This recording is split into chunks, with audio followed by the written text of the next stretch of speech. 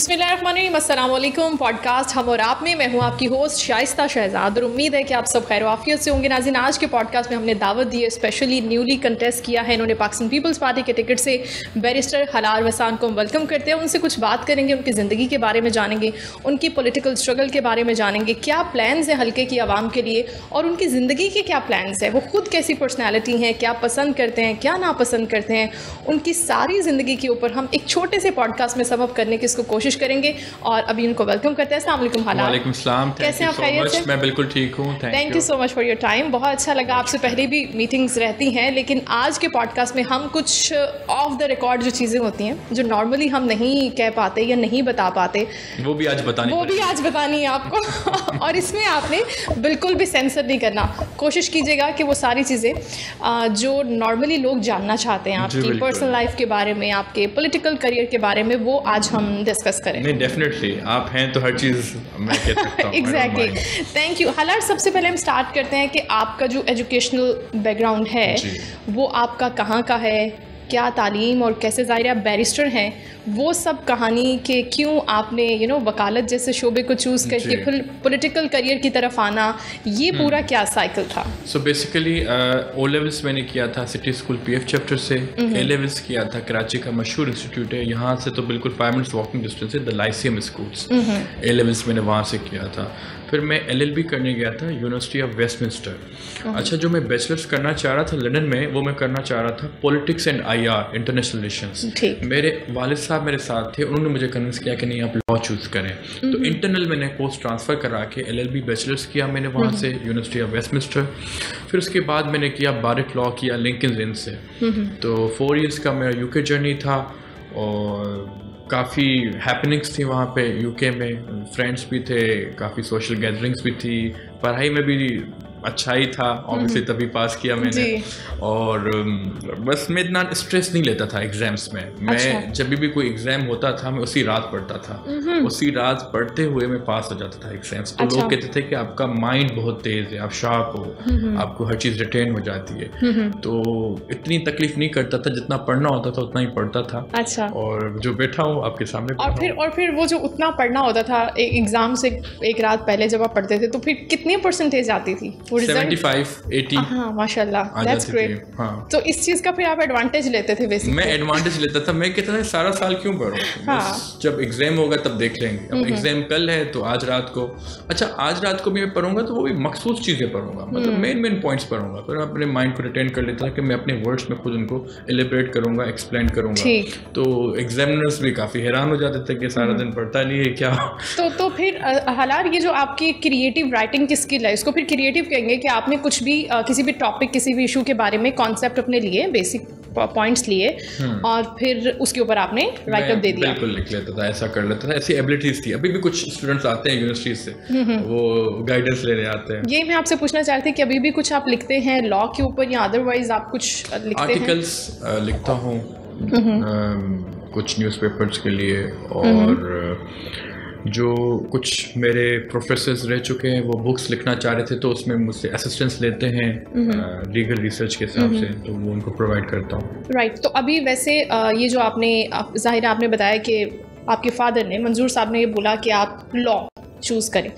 आपकी अपनी चॉइस क्या थी? आप क्या करना चाहते तो थे पॉलिटिक्स और इंटरनेशनल रिलेशंस चूज़ किया था। मुझे ये था कि मुझे सियासतदान बनना है अच्छा यही था माइंड में। हाँ तो इसलिए मैंने पॉलिटिक्स वाला कोर्स चूज़ लेकिन अब्बा ने बोला कि आप पढ़े लॉ उसके बाद आपने जब पॉलिटिक्स की तरफ़ आए तो तब तो उन्होंने कोई बैरियर या कोई रिस्ट्रिक्शन खुद चाह रहे थे कि मैं पॉलिटिक्स में आऊँ। अच्छा बट उन्होंने कहा कि ऐसे लेजिस्लेचर जो असेंबली में किरदार अदा करते हैं तो बहुत ज़बरदस्त बात है। वो लॉ पास हो सकते हैं अमेंडमेंट्स हो सकते हैं तो मुझे ज़्यादा पता so you have better understanding अभी भी आप जब माशाल्लाह आप असम्बली में बैठे हैं आप फ़र्स्ट टाइम तो कैसा लग रहा है? ये फीलिंग कैसी है? बाद में बात करेंगे कि आपने वोट कैसे लिए और कितने लिए। असम्बली की फीलिंग्स बहुत मैं एक्साइटेड हूँ। और जब भी तीन सेशंस अभी हुए हैं अभी एक परसों है तो बहुत अच्छा फील होता है कि जो सिंध के जो हमारे इलेक्शंस जीत के आए हैं मुंतखब अरकान हैं वो हमारी जब डिबेट होती है किसी मामले में या अभी फ्यूचर में होगी एक हेल्दी डिस्कशन होगी अपोजिशन के साथ तो एक खुशाइंदा बात है लर्निंग प्रोसेस है हमारे लिए भी तो फ़र्स्ट टाइम अब ज़ाहिर आपके साथ जो बैठे हुए पॉलिटिशियंस वो सीनियर हैं बहुत ज़्यादा हम्म, भी सीनियर्स नहीं बड़े बड़े नाम भी हैं उसके अंदर कुछ नहीं कुछ सीनियर हैं।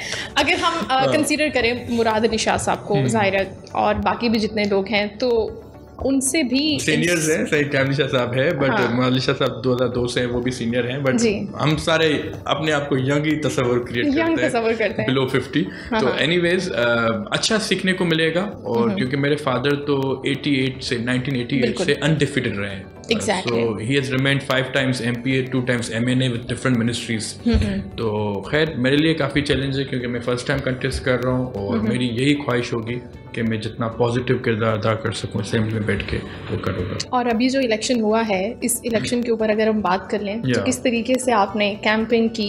कितना मुश्किल था पीपल्स पार्टी का वो स्टेज और वो लेवल जिसके ऊपर अब पीपल्स पार्टी है उस पॉइंट पर उसको लेकर आना पार्टी ने कैसे सपोर्ट किया आपने कितनी मेहनत की? देखिए मैं समझता हूँ इतना मुश्किल नहीं था। जो अच्छा। लोगों का जो तासर है कि कोई मुश्किल था पीपल्स पार्टी के लिए हमेशा ये मैं समझता हूँ कि इलेक्शन बहुत इजी थी। सिंध के हिसाब से बात कर रहा हूँ। 2008 में जब मोहतरमा शहीद बेनज़ीर साहबा। की शहादत हुई थी तो तब भी हमने इतनी सीट्स नहीं ली थी। 2013 में भी हमने नहीं ली 18 में भी ली। This the first time we have gain two third majority Sindh assembly में। और ऑब्वियसली आवाम का ट्रस्ट था और जिस तरीके से हमने सिंध हुकूमत ने परफॉर्मेंस किया है फ्लड्स में जितना कर सकते थे टू बी ऑनेस्ट और कोविड के टाइम में तो लोगों ने हमें सपोर्ट किया भरपूर. पार्टी ने मुझे टिकट से नवाजा और बाकी ऑब्वियसली बिलाल साहब ने आ, एक मैसेज दिया था खैरपुर में जब आए थे जलसे में तो उन्होंने कहा अच्छा। था कि बैरिस्टर हालार वस्तान हमारा कैंडिडेट होगा। एम पी ए के लिए इनको आपको बड़ी लीड से जितवाना है।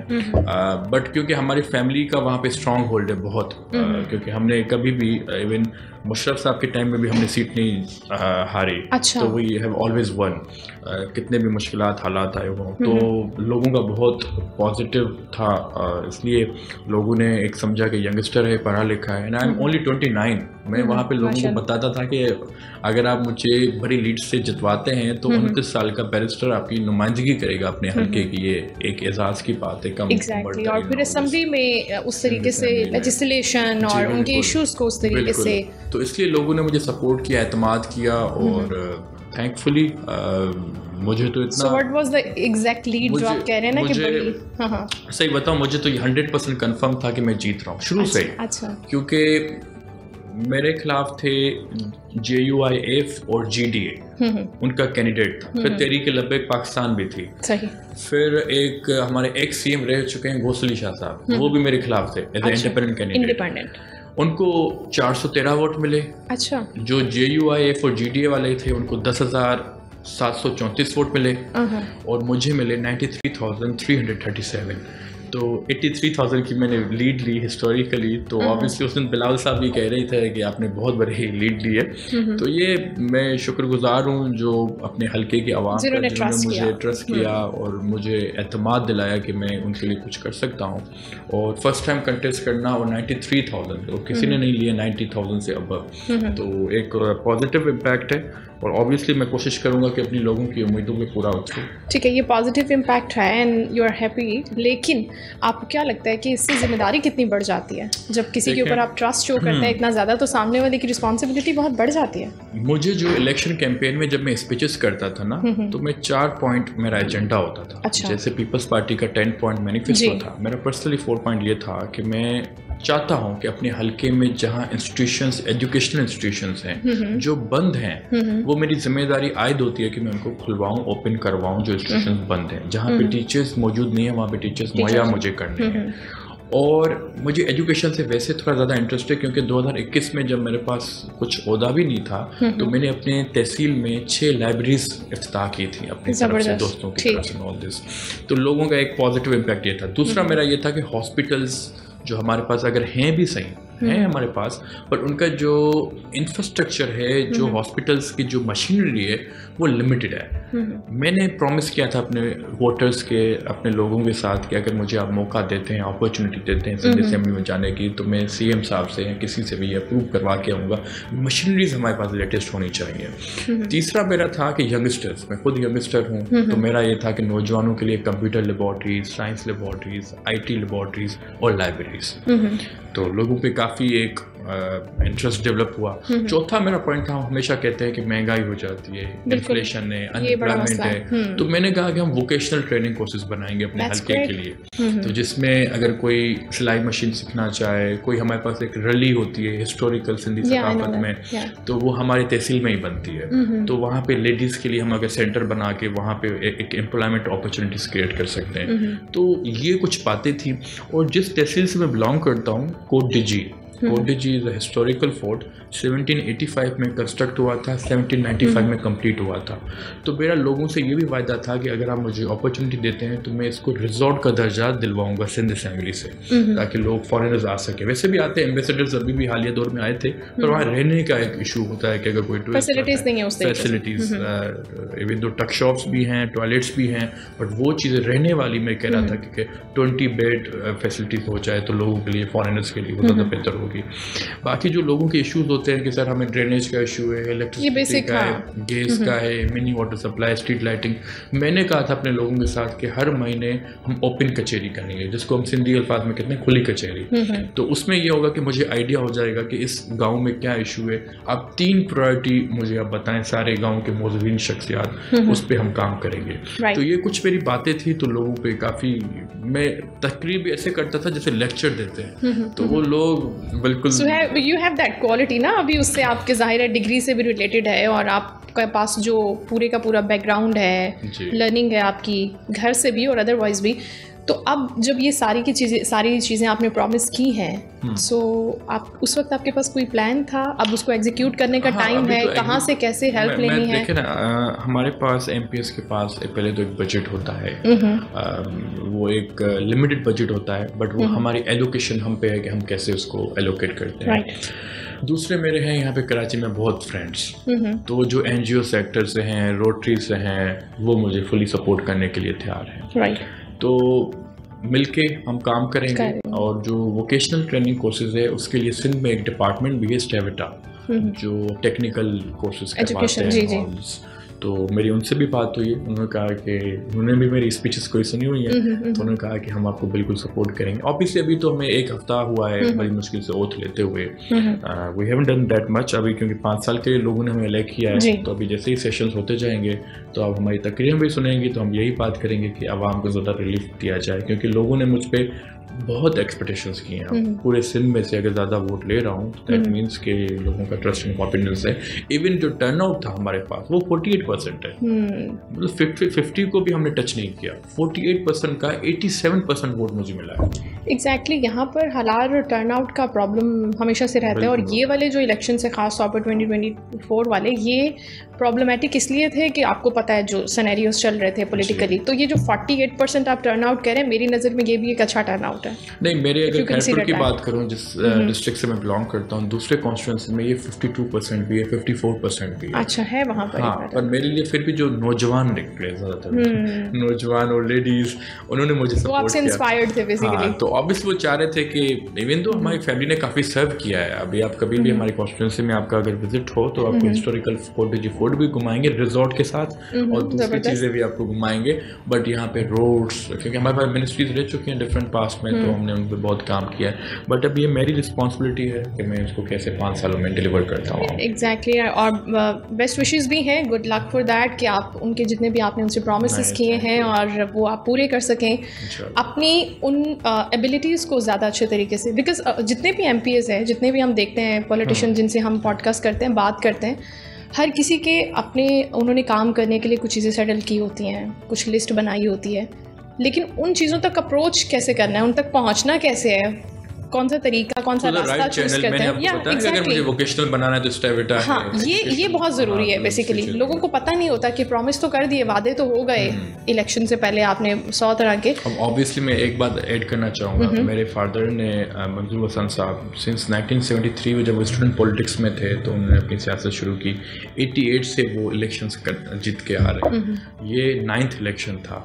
तो ऑब्वियसली जब मेरे अबू ने इतना सर्व किया है हम कहते हैं कि एक दफ़ा इलेक्शन जीत के आए दूसरी दफ़ा शायद इतने वोट्स मिले या ना नहीं मिले। हम्म। हाँ बट वो कंटिन्यूसली मुश्किल वक्त में भी जीत के आ रहे हैं। तो ऑब्वियसली मुझ पे ज़िम्मेदारी और आयद होती है कि इस लेगेसी को और ज़्यादा कंटिन्यू करना Exactly. है तो होपफुली लोगों की तो पे पूरा उतरूँ। और आपके फादर आपकी फैमिली आर दे हैप्पी कि भाई हलार ने तो बड़ी ज़बरदस्त लीड ली है और अब ये कंटिन्यू करेगा? आर दे एक्साइटेड फादर ने तो बिल्कुल सपोर्ट किया क्योंकि फादर मेरे साथ थे कैंपेन में इलेक्शन कैंपेन में हर प्रोग्राम्स पे साथ होते थे।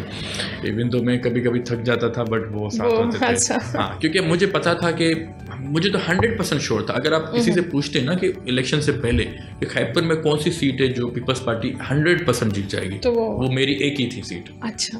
बाकी किसी में थोड़ा कंपटीशन था दस हज़ार पंद्रह हज़ार बीस हज़ार कोई कुछ दोस्त हमारे पाँच हज़ार से भी जीते हैं हमारे अपने डिस्ट्रिक्ट में से।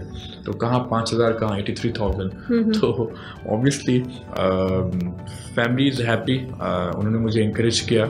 अब इनशाला एक और खुशी है। अब वो शादी वाली देखते हैं लेट्स सी अब उसको अच्छा कहाँ घर वालों ने प्लान कर लिया है कि नहीं अब अभी तक कोई प्लान नहीं है। अच्छा अच्छा। उस, उसके लिए तो मैं तलाश में हूँ। अच्छा उसके लिए ढूंढ रहे हैं हम्म। आप अच्छा चले अब आपसे ये सवाल करते हैं। बड़ा अच्छा आपने मुझे क्लू दे दिया है। किस तरह की अपनी ज़ाहिर है वाइफ टू बी जो है आपकी अहलिया जो होंगी किस तरह की लड़की पसंद है? क्या क्या क्वालिटीज़ हैं जो आपको अट्रैक्ट करती हर है कोई ये पूछता है। मैं जब भी कोई कोई मुझसे पूछता है कि आपने शादी की है ऑल दिस मैंने कहा नहीं किया क्यों नहीं किया? I am twenty nine but मैं क्योंकि जब यूके में था तो स्टडीज़ पे फोकस करता था यहाँ पे भी अब। ये तो हालिया दो तीन साल में मैं थोड़ा सोशल इवेंट्स बहुत अटेंड करता हूँ गैदरिंग्स करता हूँ।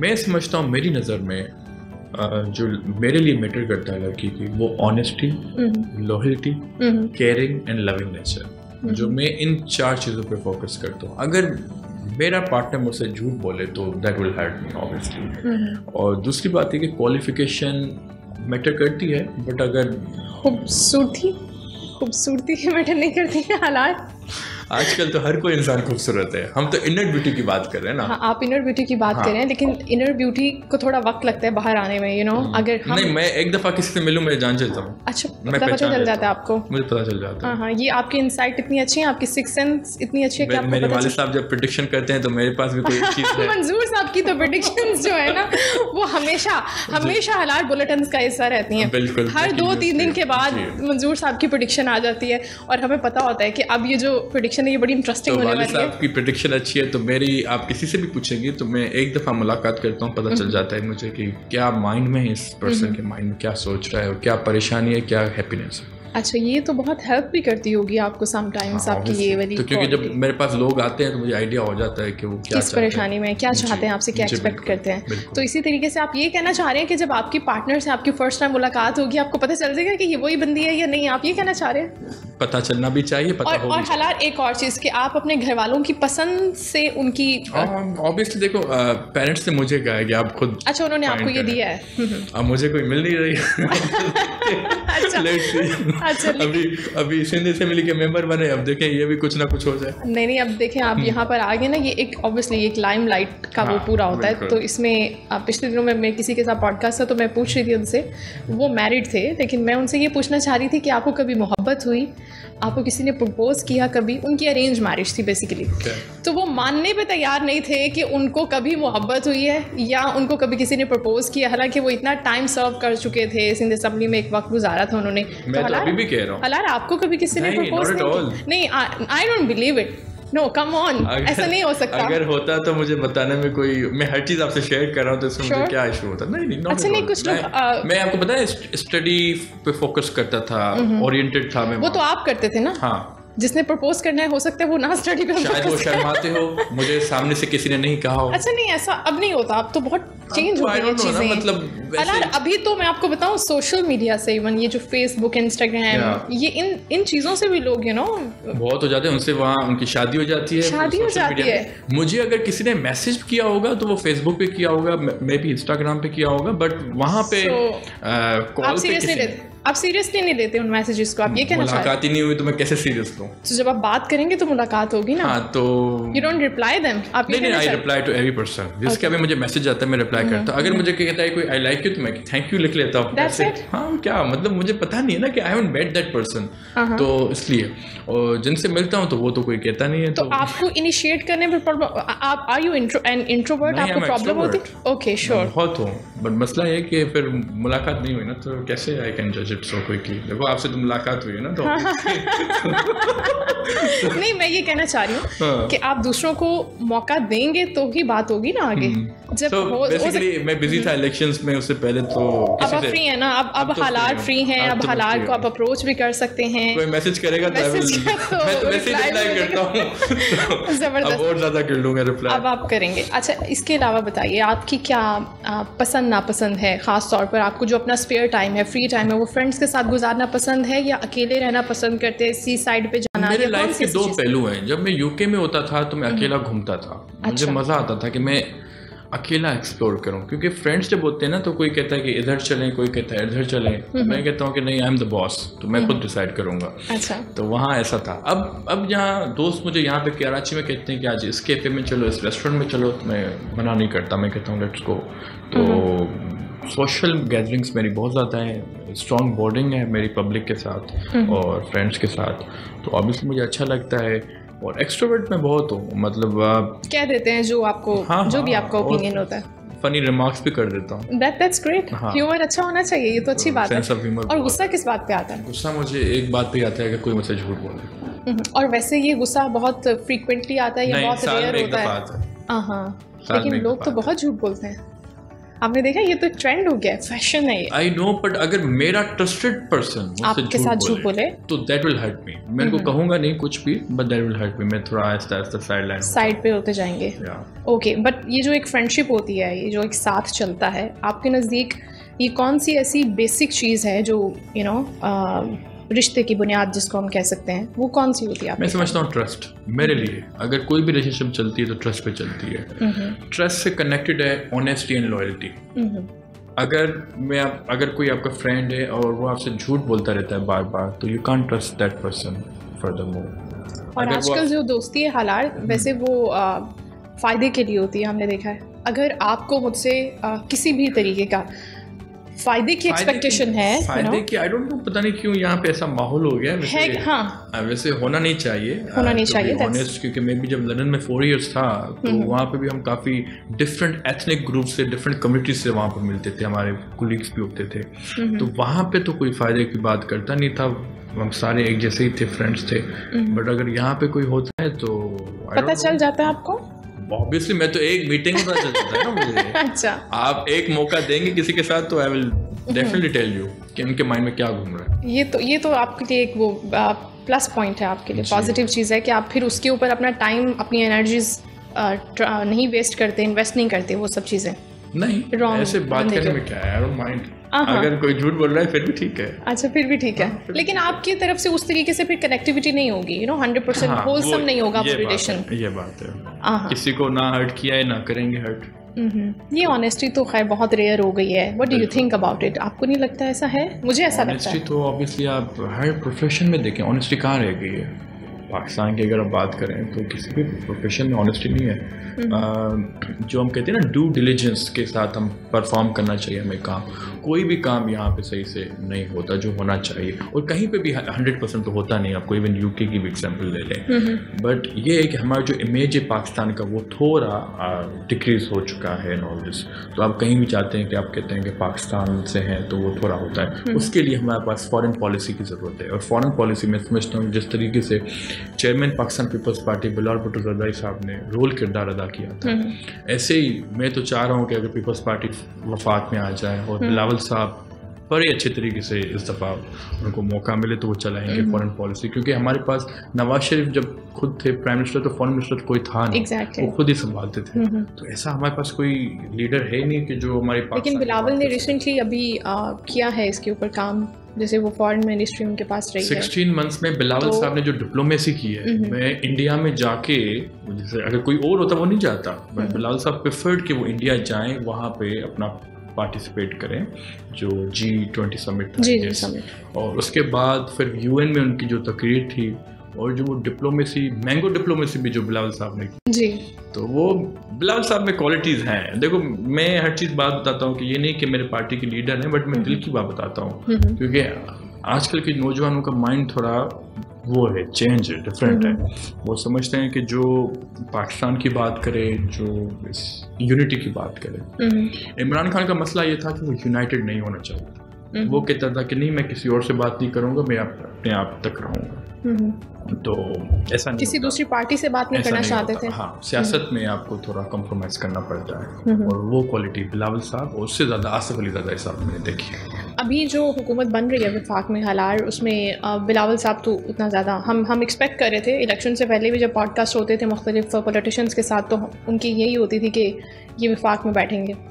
सो अभी तो ऐसा नहीं है। तो आपको क्या लगता है कि जो नेक्स्ट टेन्योर होगा इस पाँच साल हुकूमत के बाद उसमें पीपल्स पार्टी की क्या पोजीशन होगी? आपको लगता है एक चीज़ मैं? ऐड करना चाहूँ कि अभी तक तो नहीं है बट आफ्टर द बजट में भी हो सकती है अच्छा। कि पीपल्स पार्टी फेडरेशन का पार्ट बने आफ्टर द बजट क्योंकि अभी भी छः से आठ खरब डॉलर का six to eight billions dollar का अभी ये हुकूमत शहबाज शरीफ की लेड हुकूमत ये अप्लाई कर रही है लोन की आईएमएफ से। जी बिल्कुल। और आपको पता है वहाँ पे बहुत स्ट्रिक्ट उनके रेगुलेशंस होते हैं रूल्स होते हैं जो पाकिस्तान गवर्नमेंट को फॉलो करना होता है। और बेसिकली वो होता है कि आप पेट्रोल की प्राइसेस हाइक करें electricity and gas and all this तो बिलावल साहब चाह रहे थे कि जैसे 16 मंथ्स में इनके साथ था पीपल्स पार्टी का थोड़ा रेपुटेशन पे भी थोड़ा अफेक्ट हुआ था कि आप नून लीग के साथ थे।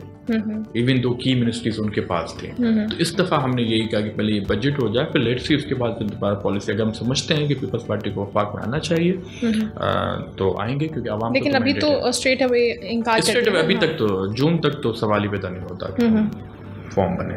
ठीक। लेकिन हम जिस तरीके से दिखाते हैं टीवी चैनल्स के ऊपर इलेक्शन से पहले पाकिस्तान मुस्लिम लीग नून अ, से बिलावल साहब या जरदारी साहब पाकिस्तान पीपल्स पार्टी की क़्यादत जिन जुमलों का तबादला कर रही होती है जो स्टेटमेंट्स दिए जा रहे होते हैं और बाद में जब इलेक्शन हो जाते हैं तो हम देखते हैं कि मेल मुलाकातें होती हैं बड़े लीडर्स बैठते हैं। लोग आवाम की अगर मैं बात करूँ ना तो वो इसको बहुत एक क्रिटिकल एंगल से देखते हैं। कि भाई इलेक्शन से पहले तो आप ये बातें करते हैं। इलेक्शन के बाद जब आप बैठ जाते हैं सारे एक ही पेज के ऊपर तो ये तो गलत बात है। आपको नहीं लगता? आवाम की बात अपने हिसाब से सही है। वो कहेंगे कि आपस में लड़े रहें। बट ये सोल्यूशन नहीं है ना कि अगर आपको वफाक बनानी हुकूमत अभी बनाती तो कौन बनाती? हम्म, कोई भी सिंगल मेजोरिटी पार्टी है नहीं नहीं। हाँ बिल्कुल। तो ऑब्वियसली नून लीग और पीपल्स पार्टी ने पहले काम किया है। आपने देखा यही प्राइम मिनिस्टर थे यही चीफ मिनिस्टर थे तो उनको उन्होंने कंटिन्यू करने दिया। अगर हम इनकी पीटीआई से जो अभी तो सुनी इतिहाद काउंसिल है आ, अगर हम उनसे बात करते बट उनके आपको पता है कि जिस तरीके के उनके अरकान हैं असम्बलीज में वो कभी भी एक उसूल पे एक प्रिंसिपल पे खड़े नहीं होते। हम्म, तो ऑब्वियसली तो हमने बेहतर समझा कि नून के साथ हम बनाए हुकूमत और इसमें एम क्यू एम भी हमारे साथ है इकतार में क्योंकि कराची ऑब्वियसली अब उनको सीट्स मिली हैं। हम्म, तो अब वो भी हमारे साथ है तो ये एमकेएम को कैसे इतनी सीट्स मिल हैं Halar what do you think about it तभी मिली कौन सा काम? ये कहाँ है? ये कहाँ पे किया है? इलेक्शन कैंपेन में उन्होंने खिदमत की होगी आवाम की। 15 seats from Karachi two seats from it's a big Hyderabad thing हाँ तो बिकॉज़ जो 2018 में किसी और को दी गई थी 14 सीट्स एमएनएस की तो अब इनको मिल गई। तो उससे खैर वो तो ECP has to be accountable जो भी डिसाइड वो करेंगे। बट मैं समझता हूँ कि अभी हम इलेक्शन की बात से हम आगे जा चुके हैं। हम्म। अभी हुकूमत साजी की बात हो रही है क्या होगा इन ऑल दिस हमारा सवाल ये होना चाहिए कि अब इसको कैसे निकालेंगे इस प्रेशर को? मॉनेटरी पॉलिसी फ़िज़िकल पॉलिसी कैसे होगा इन ऑल दिस लोन्स बढ़ते जा रहे हैं डॉलर्स का रेशो बढ़ता जा रहा है और लोगों का कॉन्फिडेंस नहीं है stock exchange rates and all this तो काफ़ी इकोनॉमिकल इंडिकेटर्स हैं जो आम आदमी यहाँ पे सोचता है कि मैं क्या करूँगा। आप जो बजट की बात कर रहे हैं उस वक्त तो सिचुएशन बिल्कुल ख़राब हो चुकी होगी मेरे ख्याल से। जब अगर हम आईएमएफ से बात करते हैं लोन की अगर वो अप्रूवल आ जाती है और होपफुली आ जाएगी। और उसके बाद इन्फ्लेशन का जो अभी रेट चल रहा है वही अनबियरेबल है लोगों के लिए क्योंकि जॉब्स नहीं है। पिछले कुछ टाइम से हम देख रहे हैं जो चेंजेस धड़ाधड़ आई हैं सिस्टम के अंदर उसके बाद से।